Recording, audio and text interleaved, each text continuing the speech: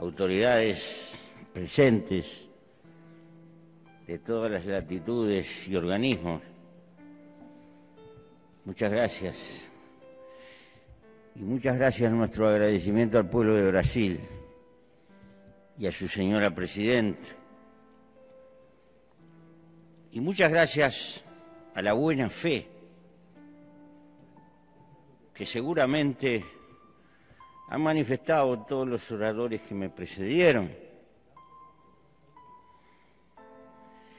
Eh, y expresamos la, la íntima voluntad como gobernantes de acompañar todos los acuerdos que esta nuestra pobre humanidad pueda suscribir. Sin embargo, permítasenos hacernos algunas preguntas en voz alta.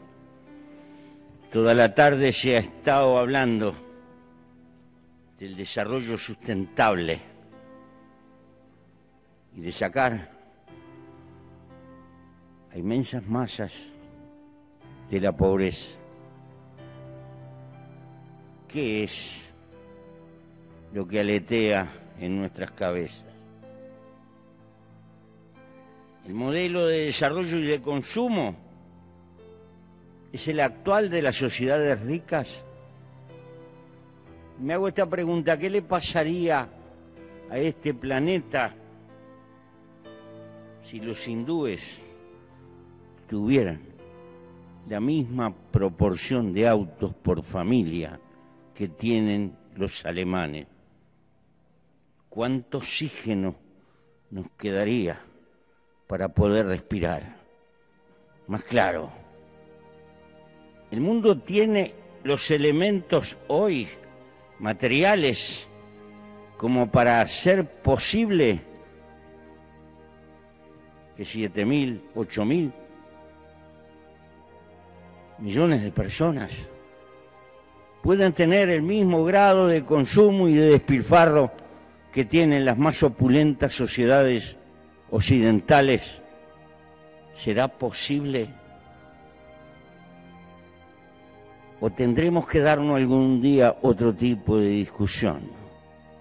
Porque hemos creado una civilización en la que estamos, hija del mercado, hija de la competencia, que ha deparado un progreso material portentoso y explosivo pero lo que fue economía de mercado ha creado sociedades de mercado y nos ha deparado esta globalización que significa mirar por todo el planeta y estamos gobernando la globalización o la globalización nos gobierna a nosotros. Es posible hablar de solidaridad y de que estamos todos juntos en una economía que está basada en la competencia despiadada. ¿Hasta dónde llega nuestra fraternidad? Nada de esto lo digo para negar la importancia de este evento. No, es por el contrario el desafío que tenemos por delante es de una magnitud de carácter colosal y la gran crisis no es ecológica, es política. El hombre no gobierna hoy las fuerzas que ha desatado, sino que las fuerzas que ha desatado lo gobiernan al hombre. Y la vida porque no venimos al planeta para desarrollarnos en términos generales. Venimos a la vida intentando ser felices. Porque la vida es corta y se nos va. Ningún bien vale como la vida, y esto es elemental. Pero si la vida se me va a escapar, trabajando y trabajando para consumir un plus, y la sociedad de consumo es el motor. Porque en definitiva si se paraliza el, consumo o si se detiene, se detiene la economía. Y si se detiene la economía es el fantasma del estancamiento y para cada uno de nosotros. Pero ese hiperconsumo a su vez es el que está agrediendo al planeta y tiene que generar ese hiperconsumo, cosas que duren poco porque hay que vender mucho. Y una lamparita eléctrica no puede durar más de mil horas prendida, pero hay lamparitas eléctricas que pueden durar cien mil, doscientas mil horas, pero esas no se pueden hacer porque el problema es el mercado, porque tenemos que trabajar y tenemos que tener una civilización de uso y tire, y estamos en un círculo vicioso. Estos son problemas de carácter político que nos están diciendo la necesidad de empezar a luchar por otra cultura.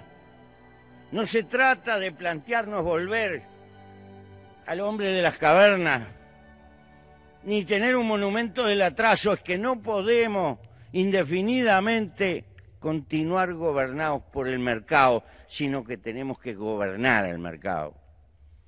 Por ello digo que el problema es de carácter político eh, en mi humilde manera de pensar, porque los viejos pensadores definían, Epicurio, Séneca, los Aymara, pobre no es el que tiene poco, sino que verdaderamente pobre es el que necesita infinitamente mucho y desea y desea y desea más y más. Esta es una clave de carácter cultural. Entonces, voy a saludar el esfuerzo y los acuerdos que se hacen. Y lo voy a acompañar como gobernante. Porque sé que algunas cosas de las que estoy diciendo rechinan. Pero tenemos que darnos cuenta que la crisis del agua,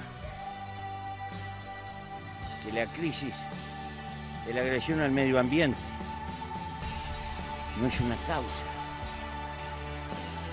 la causa es el modelo de civilización que hemos montado y lo que tenemos que revisar es nuestra forma de vivir.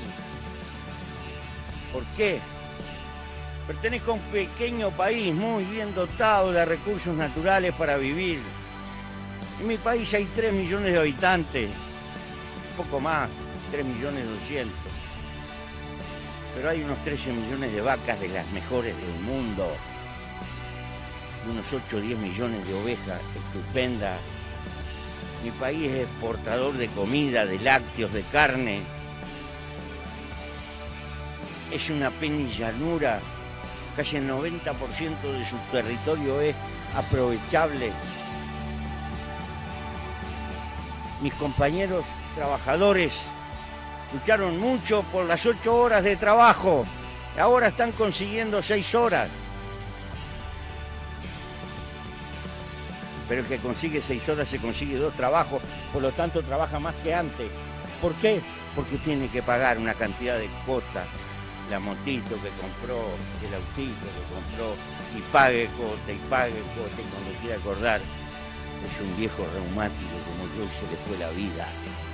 Y uno se hace esta pregunta, ese es el destino de la vida humana.